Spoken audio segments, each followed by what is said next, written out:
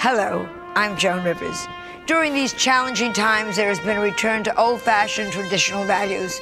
And it is so boring! Tonight at 10 on TV Land, Joan's ignoring the economy and loving rich people. Oh, your shoes! This is Chanel. Chanel. Yet another Rolls Royce. How'd you get so rich? It's materialistic fun. Remember that? Fun? Escape with Joan. Tonight at 10, TV Land.